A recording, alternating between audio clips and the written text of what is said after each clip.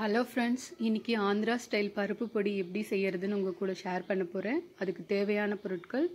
துவரம் பருப்பு ஒரு கைப்பிடி அளவு. கடலைப்பருப்பு ஒரு கைப்பிடி அளவு. உளுந்து பருப்பு அதில் பாதி. அதாவது கைப்பிடி அளவில் பாதி. பைத்தம் பருப்பு அதாவது பாசி பருப்பு முக்கால் பங்கு. ஒரு கைப்பிடி அளவு உடச்ச கடலை தட்டி எடுத்திருக்கிற முழு பூண்டு பல் அஞ்சு. வரமிளகு ஐந்து.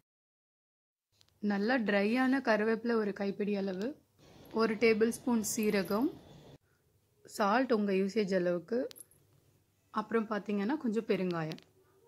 எடுத்து வச்சிருக்கிற இன்க்ரீடியன்ஸ் எல்லாத்தையும் ஒரு பேனில் தனித்தனியாக நல்லா கோல்டன் ப்ரௌன் ஆகிற அளவுக்கு சிறுந்தீயில் வச்சுட்டு வறுத்து வச்சுக்கணும்.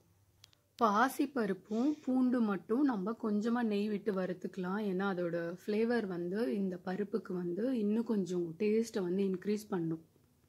பருப்பு வறுக்கிறப்ப நல்லா சிறுந்தீயில தான் இருக்கணும். அப்போ தான் பருப்பு நல்லா வறுபட்டு நமக்கு டேஸ்ட் நல்லா இருக்கும்.